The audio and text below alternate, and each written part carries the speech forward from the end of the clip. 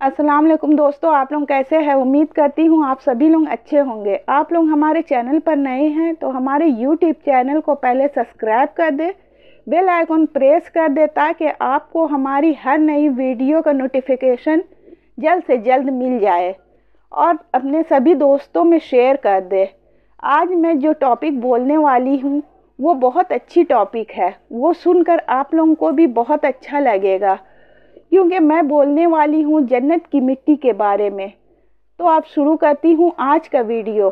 जन्नत की मिट्टी, माँ की शख्सियत और माँ का रुतबा क्या है? एक देहाती ने गाढ़े मिट्टी से अपना घर बनाया। घर में इससे छोटी सी सात मुसल्लों की मस्जिद बनाई, क्योंकि इसके सात बेटे थे। तामीर मुकम्मल हुई तो उसने बेटों को बुलाया और कहा कि मैं चाहता हूँ कि मस्जिद की लिपाई जन्नत की मिट्टी से की जाए। तुम सब भाई जाओ और जन्नत की मिट्टी तलाश करके लाओ। बेटे परेशान हो गए कि जन्नत की मिट्टी कहाँ से लाए? बाप का हुक्म था, बेटे ढूँढने निकल खड़े हुए, जबकि सबसे छोटा बेटा और सातवां नंबर का बेटा बहुत बीमार था। वो घर पे ही रह गया। भाई शाम को सब थके हारे खाली हाथ घर लौटे। तो क्या देखते हैं?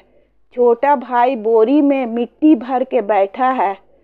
बाप ने पूछा, बेटे, तुझे जन्नत की मिट्टी कहाँ से मिली? बेटे ने कहा, सारा दिन माँ के पीछे पीछे फिरता रहा। जहाँ जहाँ वो कदम रखती रही वहाँ वहाँ से मिट्टी उठा उठा कर जमा करता रहा। वही मिट्टी है। दोस्तों, माँ का क्या रुतबा है, क्या शख्सियत है, आप लोग को मेरी इस वीडियो में समझ में आ गया होगा। उम्मीद करती हूँ आप लोगों को हमारा ये वीडियो बहुत अच्छा लगा होगा। तो लाइक कीजिएगा कमेंट कीजिएगा और जो लोग अभी तक सब्सक्राइब नहीं किए हैं तो जल्द से जल्द सब्सक्राइब कर दे। मैं मज़ीद अच्छी अच्छी वीडियो आप लोगों के लिए बनाऊँगी। और अपने दुआओं में याद रखिएगा। तब तक के लिए अल्लाह हाफिज़।